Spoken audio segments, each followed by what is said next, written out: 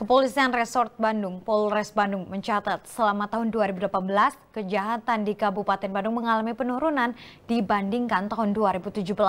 Hal ini seiring dengan kesigapan aparat kepolisian saat terjadi aksi kriminalitas. Angka kejahatan di Kabupaten Bandung sepanjang tahun 2018 mengalami penurunan signifikan dibandingkan tahun 2017.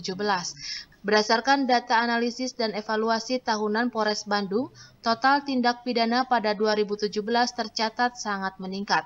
Jumlah ini mengalami penurunan dibandingkan tahun lalu.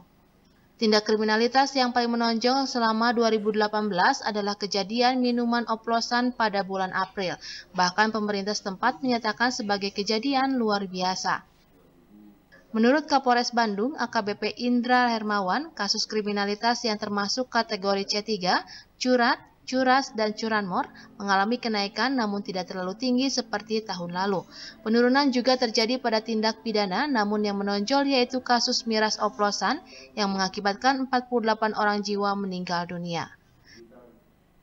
Dari 2017 ke 2018.